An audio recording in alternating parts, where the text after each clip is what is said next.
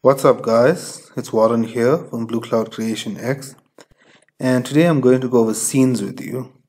So basically a scene is like different levels or it's it contains all of your game objects and the way we can the way we can develop levels is by using different scenes. So in this video I'm going to show you how exactly we can we can go from a starting scene to an in-game scene to an end scene and loop all the way back to the start scene. So let's get into Unity. And right now we have an empty we have an empty scene. I'm just going to zoom out So I want to create a new canvas.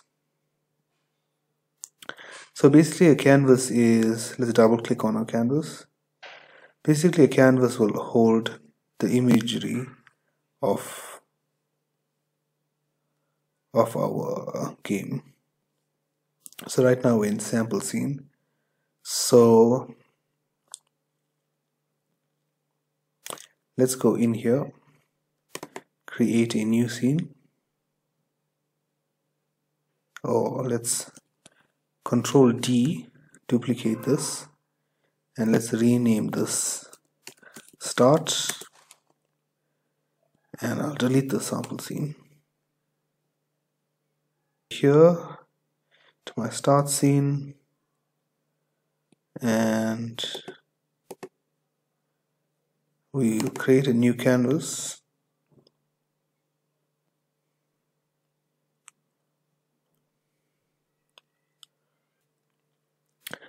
so we'll take our so in our canvas we'll create a new UI element a button.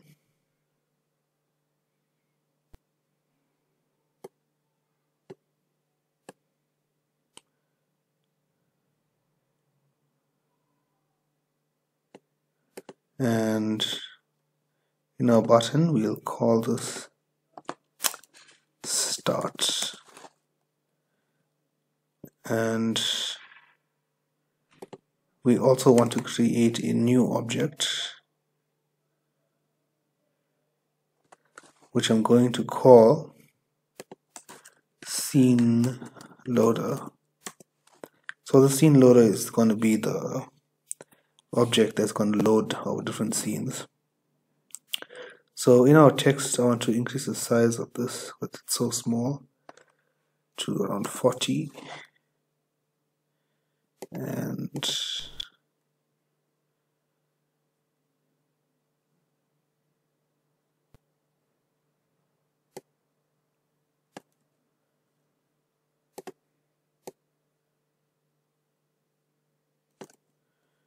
okay, we'll leave it as that and the next thing I want to do is duplicate start and control D again. Save this. So we're going to call this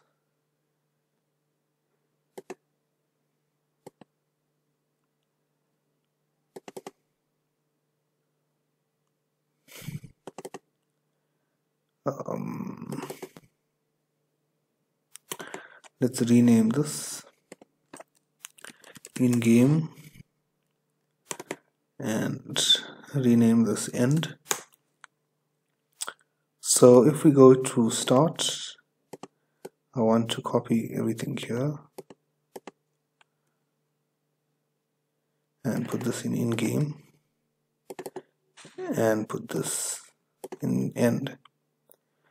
So if we're going to start again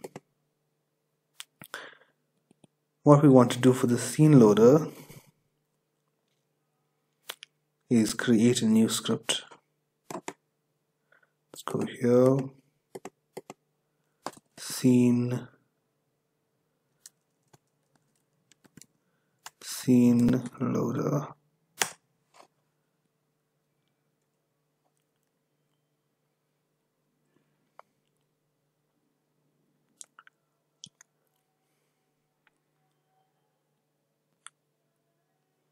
and then I'm going to open up my scene loader script.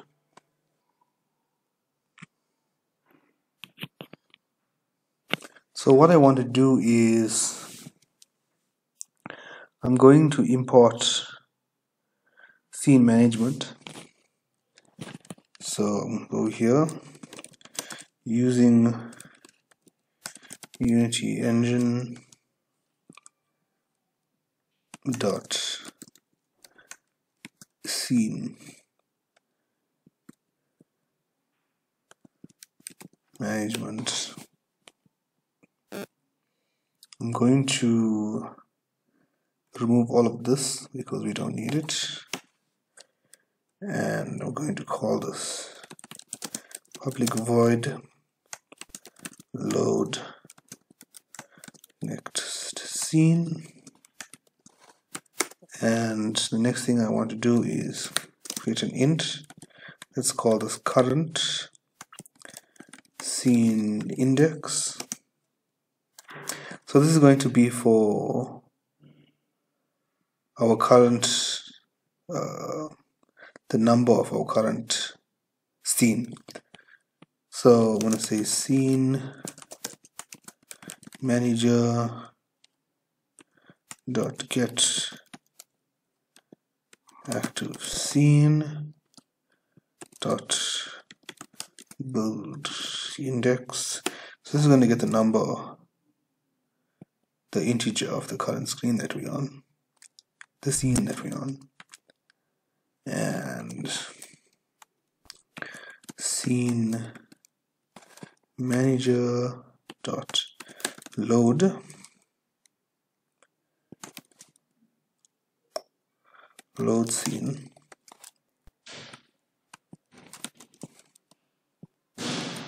Current scene index plus one. So this is going to load the next scene that's that we need. This plus one. So if we're on zero it'll go to one.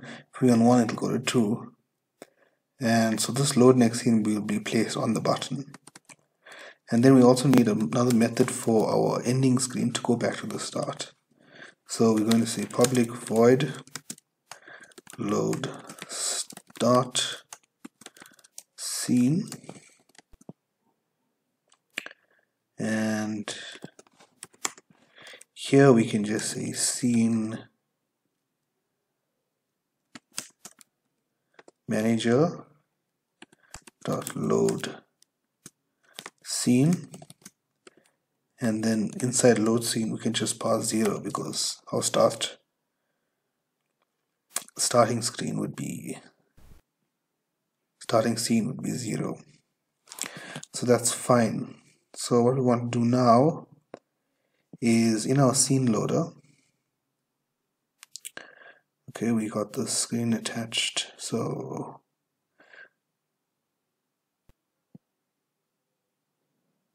So in my canvas, under my start button, let's go to my start button. I want my on click to have the scene loader object and the function I want is load next scene. Then we want to go into our in-game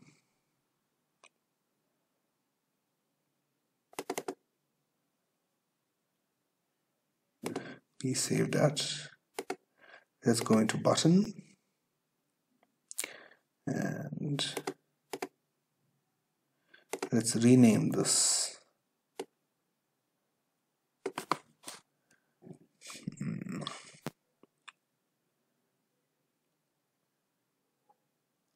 Let's rename this. Go to next scene. And in our scene loader. Let's add our script. And on our button place scene loader in there. And we want to go to next scene.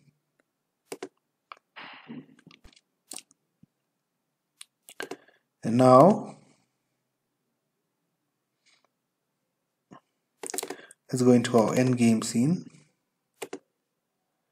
And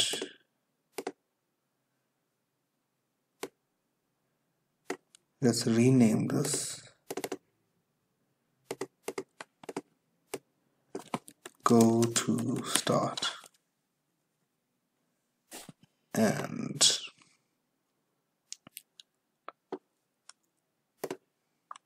for scene loader we attach our script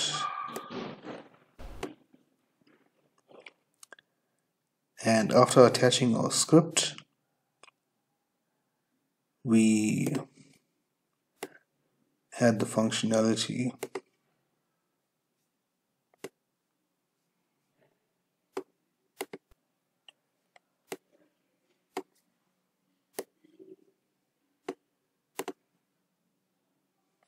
and we say load start screen. So this is going to go back to scene 0 so let's save this and go into our build settings. And then we'll add our scenes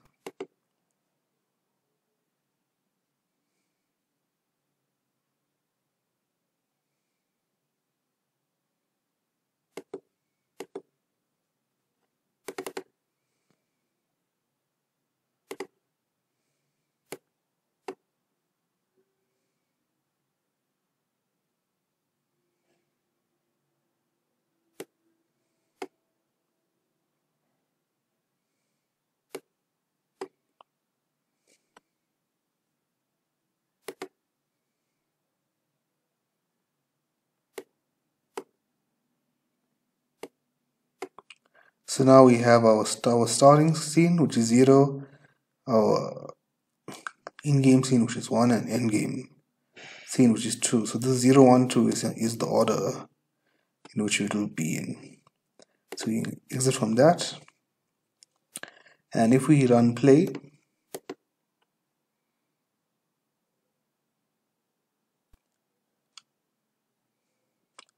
so this is maximize on play we get a full screen so let's cancel from this because it's we still on the end screen. So let's go back to start.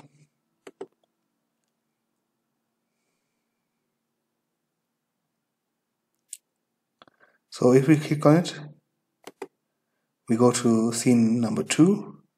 If we go to next scene we go to scene number three.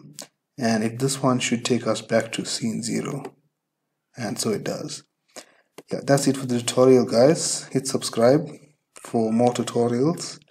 And I'll leave the link for my first game in the description. And also the discord server which you can join where you can find more material on game development. Thank you guys for watching. Cheers